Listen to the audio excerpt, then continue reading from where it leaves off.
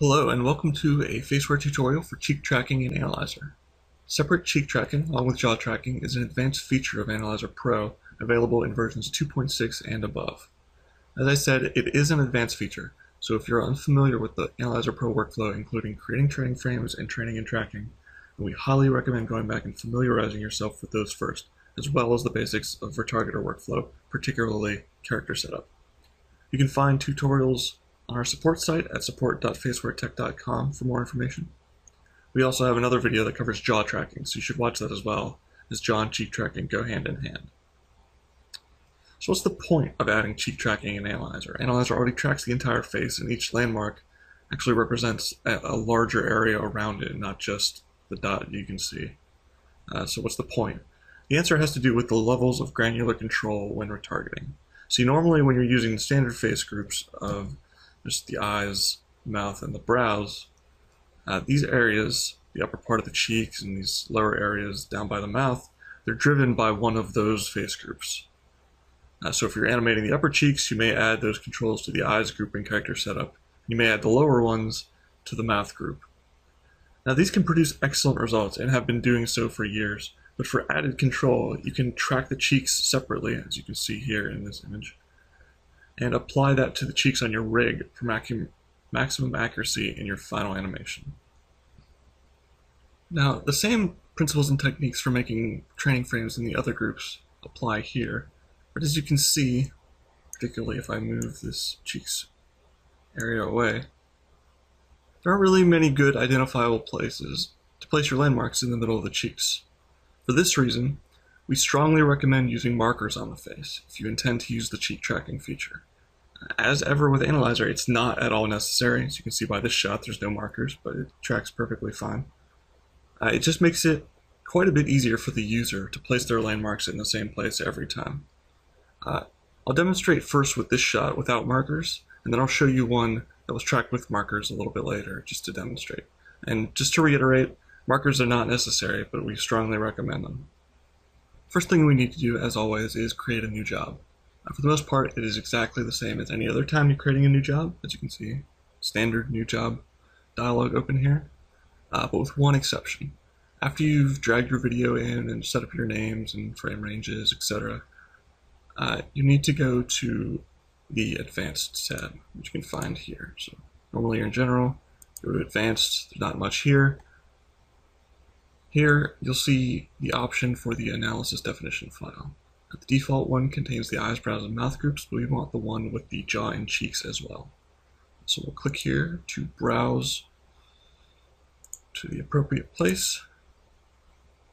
It will be in your Analyzer installation folder, Program Files, Faceware, Analyzer, Assets. This location is the default Analyzer installation directory, and it'll be there. Um, and you see several options this is the normal one you use. This is the one with the three groups plus the jaw. And this has all five groups, eyes, brows, mouth, jaw, and cheeks, which is the one we want. So we'll select it, hit open, and from here we hit create, and our new jaw will be created just as it normally would. To save time, here's a fresh job I've already created. You can see that the regular groups are here, you know, brows, eyes, mouth jaw. But the landmarks we're concerned with right now are these ones here. Uh, the cheeks. You can see them just in the cheeks group. Now, it may not be perfectly intuitive uh, based on their appearance as to where the individual landmarks go, but that's what we're going to go over now. Now, you should note that the nose is here, as it is in every group, but you actually want to track the nose with the eyes as you normally would. You want to track the other groups first. Generally, they're easier. They're a little more straightforward. You probably already know how to do them if you're watching this tutorial. Uh, just for the moment, we're just going to take the nose and move it to its appropriate position just to get it out of the way and lock it so we don't have to care about it anymore. Uh, the feature you're going to want to pay most attention to on the face with regards to creating your cheek landmarks is the nasolabial fold, which I'll zoom in a little. It's hard to see. It's this vague crease you can see here. It's sometimes referred to as laugh lines or smile lines because of the way they become more apparent when the mouth stretches out wide uh, when smiling. And these are going to be key in guiding us into our landmark placement. Now, first we'll focus on these kind of middle points. They're typically the easiest to place, so we'll do those first. Uh, you want to follow the nasolabial fold up to the point where it intersects the side of the nose and place the landmark there. So on this side, follow it up, it's here. On this side, follow it up, and it's here. It's typically low down, roughly in line with the nostrils. So we're just going to move the whole thing, focusing on putting this place right. So that one is in its right spot. I like to move them all at the same time. It just it's easier to visualize what you're doing, in my opinion. But it's up to you. You can pull each landmark individually if you so choose. Uh, so that's where that's going to go. The lower two landmarks for each uh, group go along the, the fold itself. Uh, essentially, this bottom one sits on the fold pretty much lined up with the mouth. So if you draw a line, this is mostly a neutral frame. Ideally, you want a neutral frame or a neutral-ish pose to, to kind of put your first uh, training frame on just to, to orientate yourself properly. So we're going to move this one here. You can kind of see it and follow it down right there. And with this one, you follow it down, put it there. The one in the middle falls along the fold as well, about halfway up. If you can't see the fold, because it's not as pronounced with some people, uh, you can kind of just draw with your mind an imaginary curved line from this landmark to this one. And roughly halfway, maybe a little bit higher, put that one.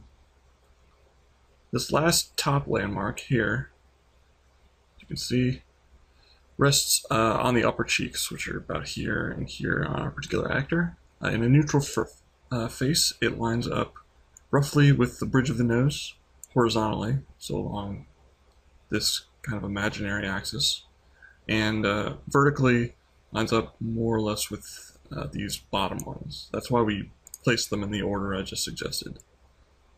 So there, and there, our actor has some lines here we can kind of use to guide us, but not all of them will, so that's a general way to go about doing it. So here's the same job, uh, the same video was used to create this job. This is the one I shared at the very beginning of this video. Um, but it's entirely finished. All the training frames are done, everything is tracked, and looks all pretty. Uh, you can see here, as I go to just the cheeks group, that there aren't very many cheeks training frames, maybe five or, or so in this job. Uh, in this case, our actor isn't making any weird or wild movements, as you can see as I scroll through each training frame. Uh, but even for shots like those, you won't tend to need many cheek training frames relative to some of the other groups. Uh, as ever, making a few good training frames is better than making a lot of poor and inconsistent ones, which I'm sure has been harped on if you've watched a bunch of these videos or read our tutorials, but it is incredibly important. So um, we're going to keep harping on it. Uh, the best way to ensure consistency, especially when you know there aren't good indicators as to, to where this landmark might go. You might be creating training frames. Okay, this is the first one. Now that I create the second one, where am I supposed to? Is it here? Is it here? Is it here? Is it here? How do I see where it should go?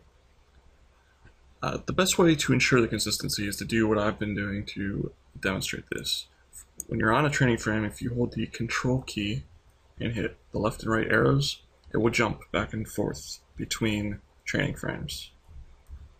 Left to go to the previous one, right to go to the next one. And it's an excellent way to see exactly how each landmark is supposed to move. So I'll just demonstrate that real quick. Say, for example, I need to put a training frame here. Yep. We'll say, okay, well, I'll move them first just to create a training frame, so I have something to go back and forth to. But then from there, I'll go back to that. And I can see exactly that, say I'm focusing on this training frame, this, this bottom right side of the face training frame. So I can see on the one I've already created, it's here. Um, here. And you can tell where the movement's supposed to be.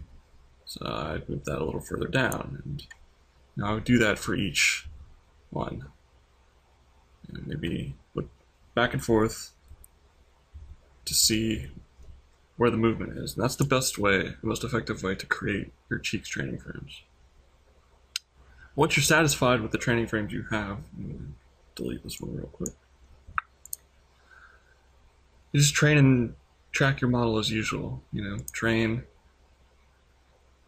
and then track. And it does exactly the same as any of the other groups. Other than where you're putting the landmarks, behaves exactly the same. So, okay, track, it creates all your results, and voila. You've got tracked cheeks. It's not too hard, as you can see, but it just requires a little bit of extra care, um, maybe a little bit more so than the other groups. So now that you've seen how to do this without markers, we're going to show you real briefly how to do it with. And believe me, it makes it way easier, and you'll see why in just a moment.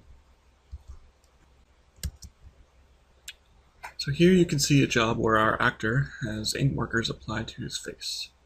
Zoom in a bit. So you can see. And as I move them to the side, you can see these are just simple ink markers placed in locations I described earlier as I was showing you uh, proper landmark positions. Keep in mind that the tracking software thinks of this uh, exactly the same. But a user can create training frames much faster and much more accurately uh, when using the markers as a reference.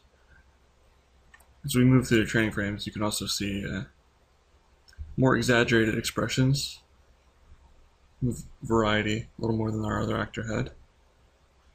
Just to demonstrate, say, I want to make a training frame here. Remove these off so I have no idea where they originally were. Okay.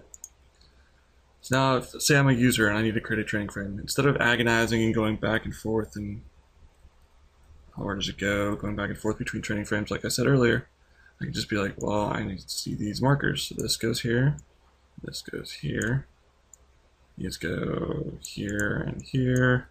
Likewise, just place these very quickly and easily. That's why we recommend using the ink markers. Uh, if you're shooting over multiple sessions, one thing to keep in mind is that we recommend taking a still image from the source as a reference so you can be certain about the placement of your markers from one recording session to the next. So now you should be all set to start tracking the cheeks along with the jaw get the absolute best results in your animations. As I mentioned before, you can find more tutorials, both written and in video form, at our support site at support.facewaretech.com and general information about Faceware, our products, and how to sign up for a free 30-day trial on our homepage at facewaretech.com. Thank you for watching.